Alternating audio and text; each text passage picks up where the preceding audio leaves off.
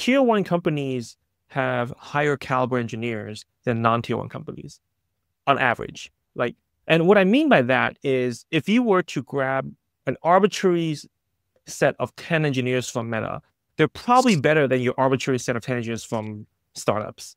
And I've talked to quite a few startup people who, frankly, everyone I've talked to were um, able to admit it off the record, but nobody really wanted to go on stage and say that.